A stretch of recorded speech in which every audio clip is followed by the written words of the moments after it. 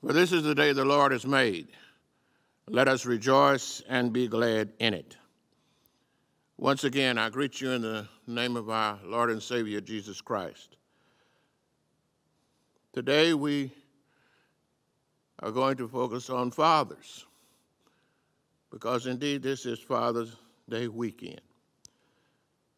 And we go to the Old Testament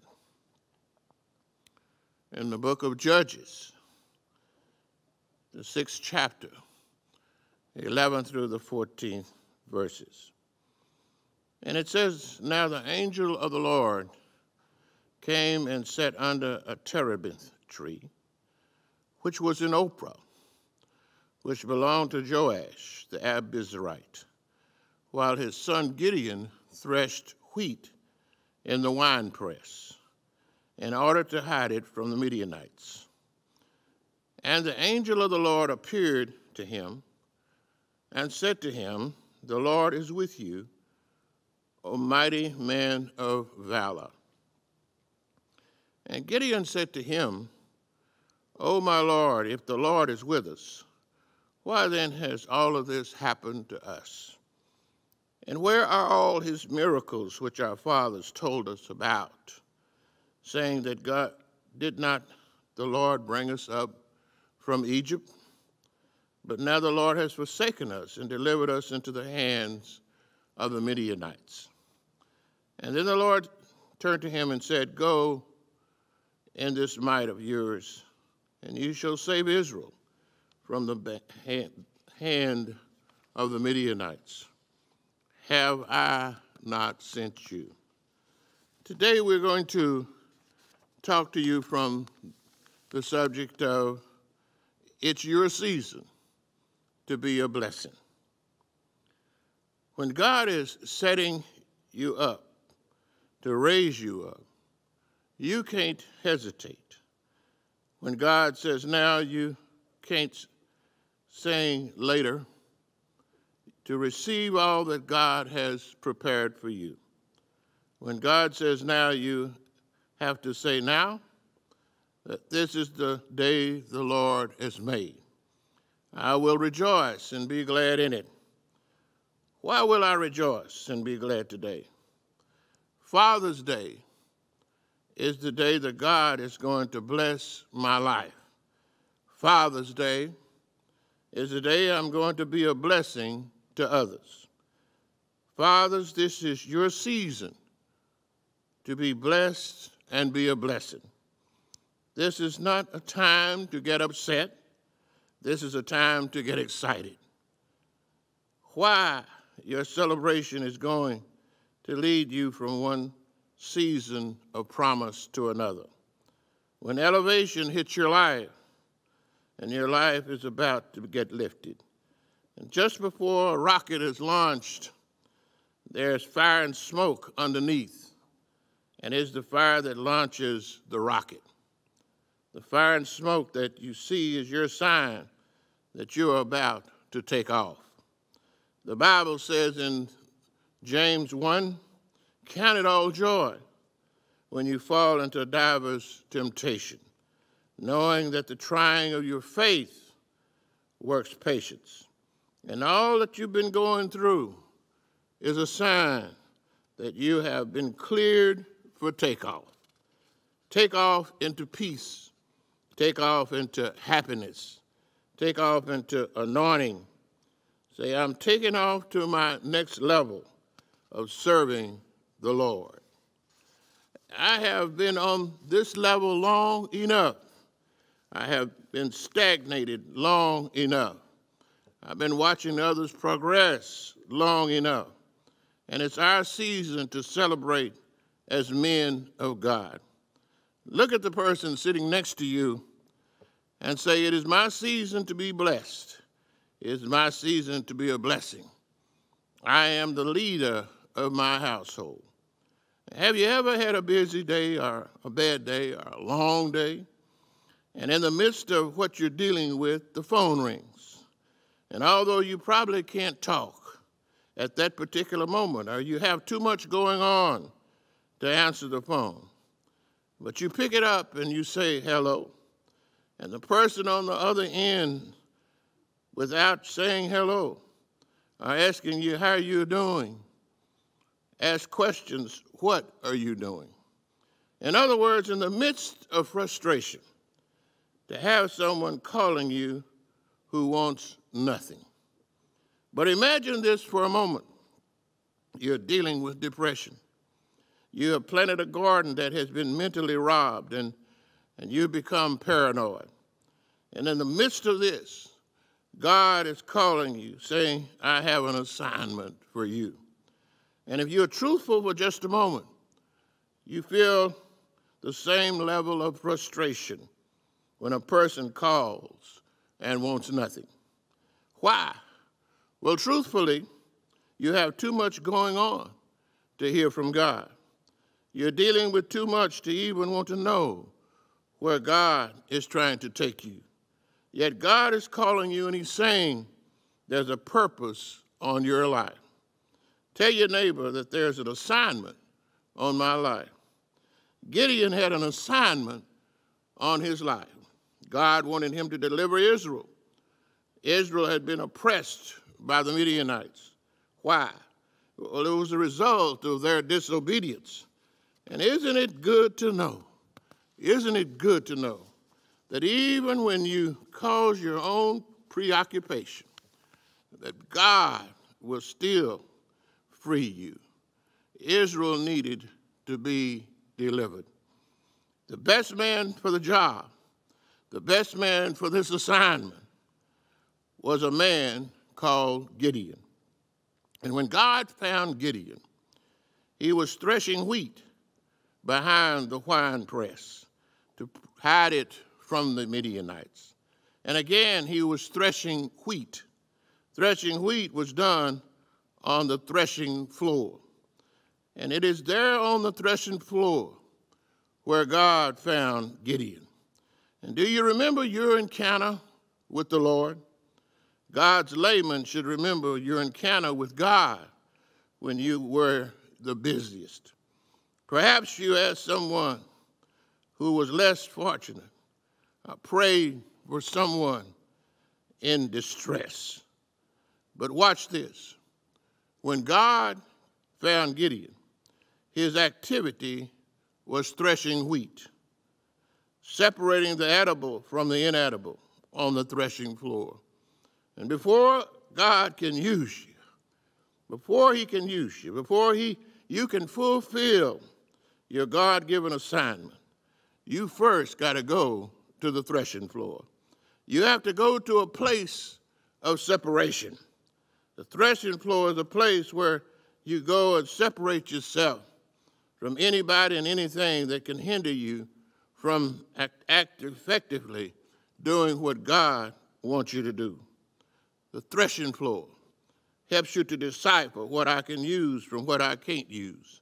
The threshing floor helps you to see what is good for you and what will hurt you. How do you do this? It's a good question. The question is how do you let go and let God direct you?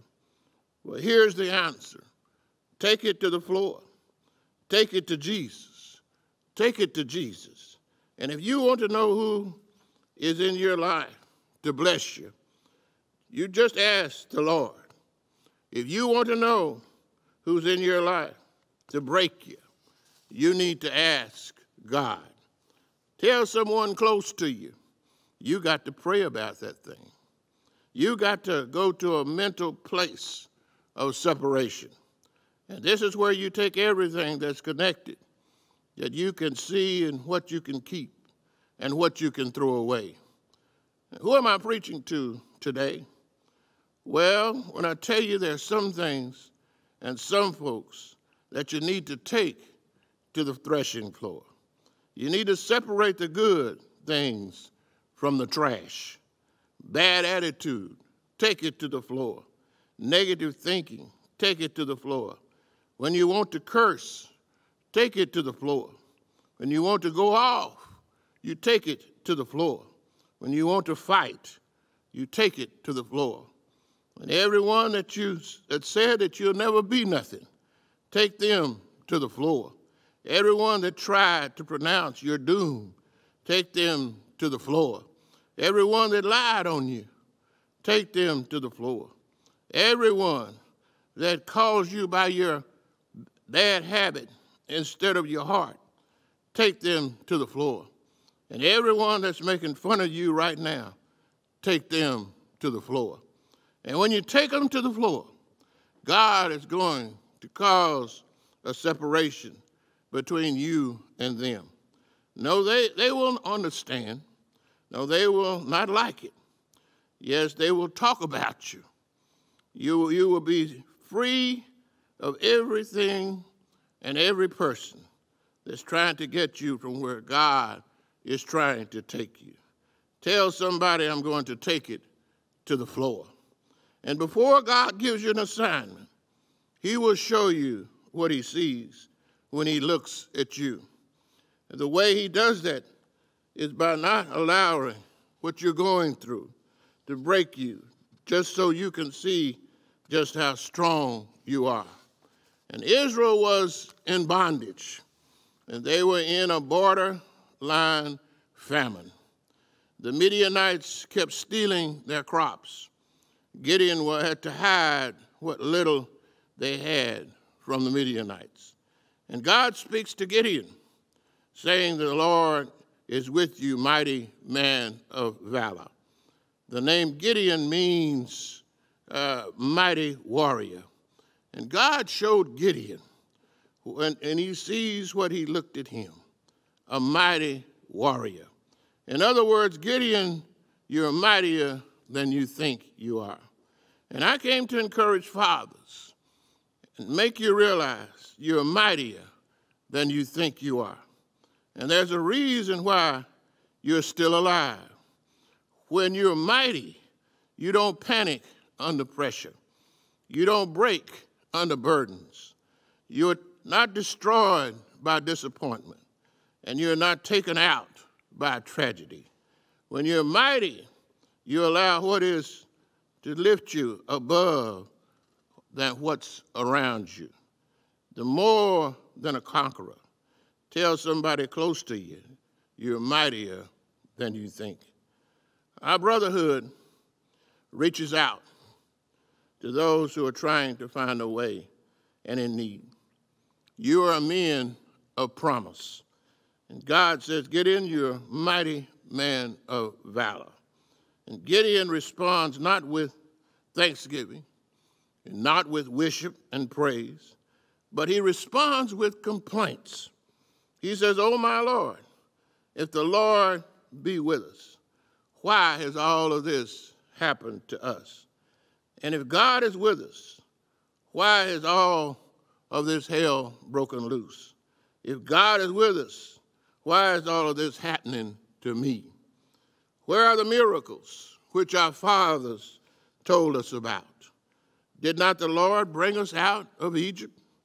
Did not the Lord bring us out of slavery in that country?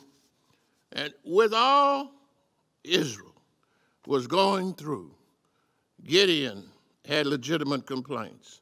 How many of us have gone through so much that we stopped and we asked God, why? How many of us have ever asked the question, where are the miracles that Granddaddy told us about? What do you do when you have questions and no answers? The teacher never answers questions during testing time. The teacher only gives final instructions. And this was God's final instructions to Gideon.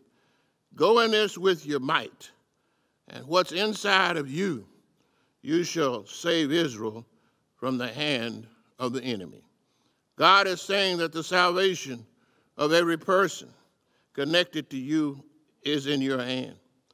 And if they're going to be free, God, I'm going to use you to free them. Watch this. God showed me some areas where we can free somebody spiritually, helping someone find Jesus in their life. You can do all things through Christ who will give you the strength. Tell them if they change their mind, they can change their life. When God elevates you, reach back and bring somebody with you. And I need to get to this. In order to be successful at freeing someone from the hand of Satan, you must go when God says go. God said, Gideon, you will deliver Israel from the hand of the enemy because I sent you. You can't go where God does not send you. If God sends you, where God guides you, He will provide. If God sends you there, He will sustain you and bring you to victory. And then God, Gideon spoke again, saying, O Lord, how shall I save Israel? Behold, my family is poor in Manasseh, and I'm the least in my father's house. I come from a poor family. I am the least of them all. A poor self image can keep you from things of the Lord. Sometimes we develop a poor self image and low self esteem because of where we come from, where we grew up, what others have said about us. And my question is what do you say about yourself? What do you think about you? Look at somebody and tell them, I'm happy being me. That's why every time you see me, I'm doing me. Every time I come to church, I'm doing me. Every time I walk down the street, I'm doing me. And God tells Gideon, excuse me, to go, and surely I will be with you. And when I called you, I didn't call you based on where you've been. I called you because of where you're going. And many times you look at where we go as punishment. And I've come to tell somebody today the thing you're going through is not about punishment, but it's a promotion. The reason you've been through what you've been through was to bring you to a place of promotion.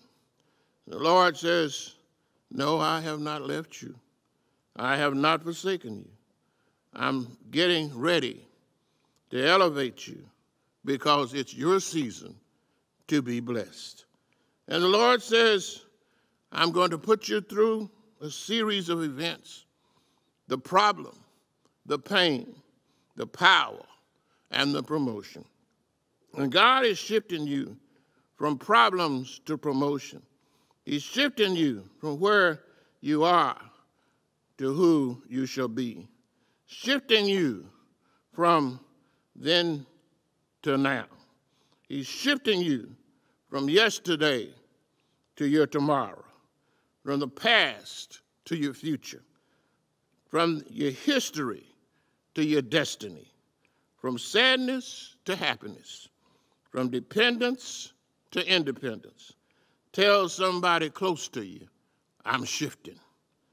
So let us celebrate a new beginning. Let's celebrate the promise of God because He's preparing you for greater things. What's to come is better than what's been. That's why He sent Jesus to an old rugged cross. That's why He died for us. That's why they hung Him high and stretched Him wide for us. He sta- well, that's why He stayed in a borrowed tomb for us. That's why He stayed in the ground all Friday night and all day Saturday and Saturday night. And that's why my waymaker, my elevator, my burden bearer, my comforter got up on Sunday morning with all power in his hand. Tell somebody that I can only imagine what God has in store for me. Hold your head up. Wipe the tears from your eyes. What's coming will be better than what's been. Are there any people in this place that believes it, somebody ought to say amen. Somebody ought to say God is all right with me. Somebody ought to say I've had a blood transfusion. Let us pray. Gracious and merciful Heavenly Father, we come to you because indeed it's our season to be blessed, and it's our season to be a blessing to others. Oh, Father, we just ask that you guide us, we protect us, that you will smile upon our works and give us a reward. But, Master, most of all, we have you who said to us that we can do all things through you because you will give us the strength. You have instilled in us that we are mighty warriors of compassion. And we just ask that you continue to walk with us and talk with us. We ask in the precious name of your Son, Jesus. Amen.